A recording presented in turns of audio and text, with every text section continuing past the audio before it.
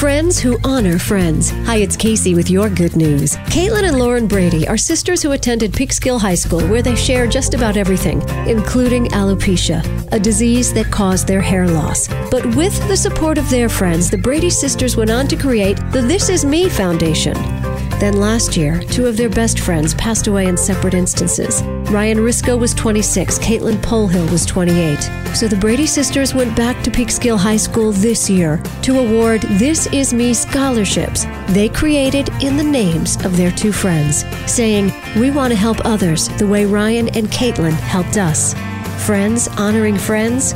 We think that's good news. Send your stories with heart here to Kacey at WHUD.com.